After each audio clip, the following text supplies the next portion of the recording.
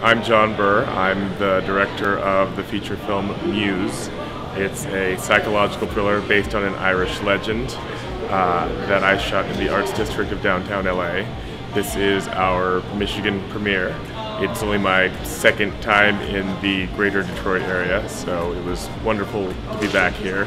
Uh, I love being able to meet new people in the community, to sort of connect with a city that I don't have a lot of roots in and maybe set down some roots myself and be inspired by the culture, meet the other filmmakers, uh, see some films that I would not have seen otherwise, uh, and uh, some of the local films especially.